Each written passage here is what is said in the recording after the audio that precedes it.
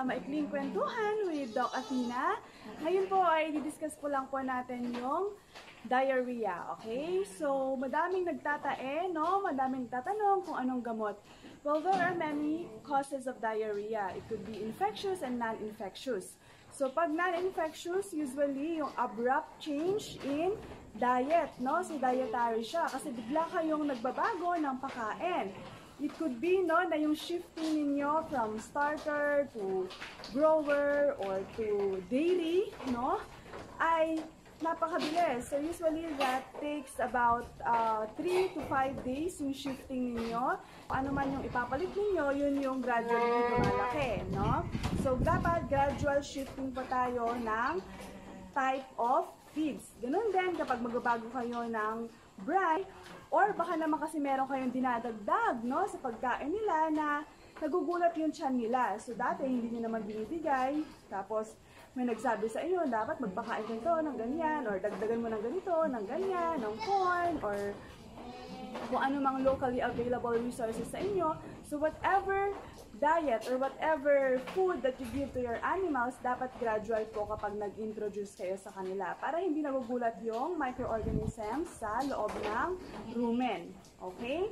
Pangalawa, it could be um, stress as well, no? Pwedeng mag-cause ng diarrhea, alright? So, usually kapag nagugulat yung mga microorganisms, no, dun nagkakaroon ng diarrhea kasi nag adjust sila, okay? And second common cause would be the infectious. It could be, number one, more common kasi ang parasites, no? So, parasitism, and then second is bacterial infection, okay? And it could be viral infection as well, okay? So, yung parasitism, syempre, kapag linabas niyo sila ng napakaaga, well, panoorin po ninyo yung aking isang video about sa life cycle ng Haemonchus contortus or yung barber's pole worm or yung uh, most common no, na nematodes or gastrointestinal parasite ng goats, okay, dapat naglalabas tayo kapag talagang mainit na. Okay? At pag tag-ulan, huwag po tayong maglalabas ng ating alaga, okay? Kasi aside from parasitism, which would cause diarrhea, well, the animals could also harbor other infectious uh, bacteria in the field. And syempre, kapag naulanan, nalamigan, it could cause cough and colds. So, ubo at sipon, tapos diarrhea pa, ay naku talaga manghihina po ang inyong mga alaga. So, kapag tag-ulan, please keep them confined. Keep them warm and dry, okay? And, of course, pag parasitism, make sure also um, how are you working with your dewormers, no? Dapat, hindi lang din isang dewormer ang meron po kayo sa inyong farm. You should practice your rotational, no? Yung inyong dewormers. So, ibig sabihin, pag nag-rotate kayo ng dewormers, you use different dewormers from different families, ha? Like, ivermectin and albendazole, pwede yun, mag-ibang family yan, okay? So, kasi may mga families po yung ating mga gamot like may dewormers, may benzimidazoles, mga ganyan. Alright, so kapag bumili po kayo no, sa inyong source o sa tindahan, alamin niyo let uh, the seller explain to you o anong family to, ano yung pwede kong i-rotate dito, di ba? Alamin niyo, huwag kayong bili ng bili kasi dapat pinapaliwanag po sa inyo yan, okay? Para pag nagka-problema, eh, or uh, expected ninyo kung ano yung mga aaring mangyari kapag binigay nyo yung gamot na yon, okay?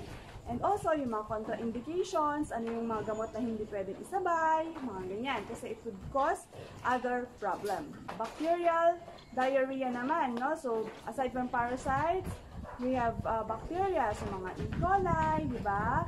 Uh, very common kasi yung uh, coli bacillosis, di ba? So, diarrhea talaga yan. Naman po sa mga goats, kundi sa mga hogs and um, chickens.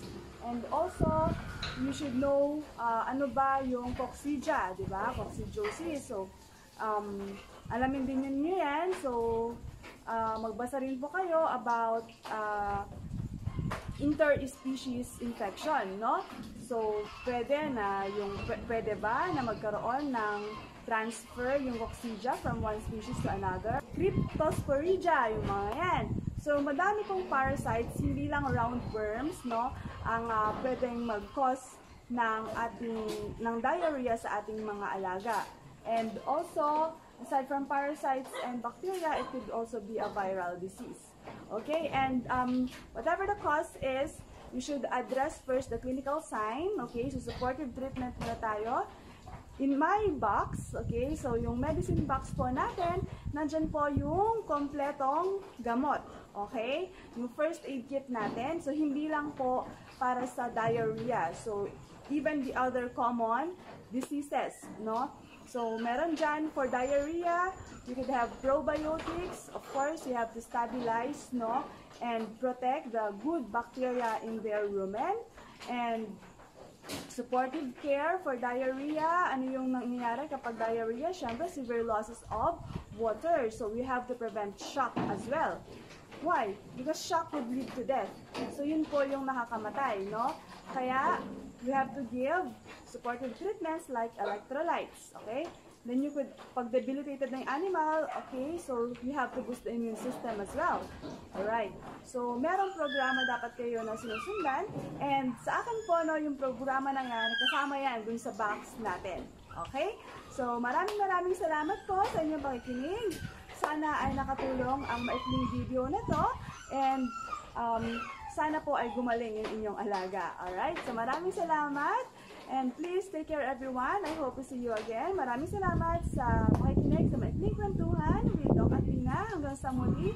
Please take care everyone and God bless. I hope to see you again.